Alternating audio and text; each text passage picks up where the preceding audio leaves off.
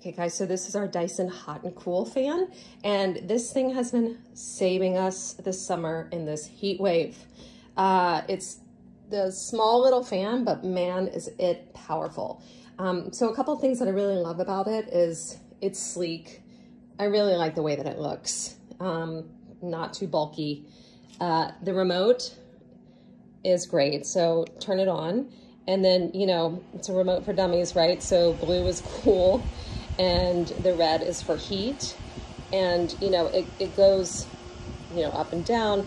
This is what I really love too. So there are a couple of adjustments for the dimension of the stream of air. So it can get very narrow or it can widen out.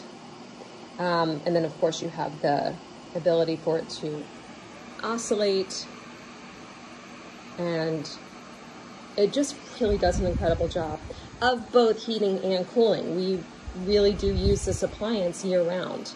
Um, the other thing that is kind of weird but fun is that the remote um, has a magnet in it, so it can stick here on the top of the fan so you don't ever have to worry about losing it.